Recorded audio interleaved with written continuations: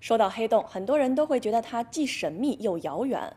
黑洞的吸引力极其强大，任何物质一旦靠近，立刻会被它无情吞噬，就连光都无法逃脱。我们通过一个短片来做了解。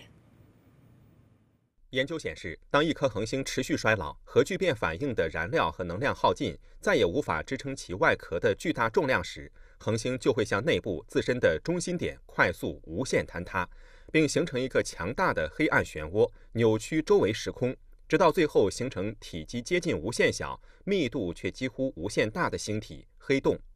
而这个中心点就叫做起点。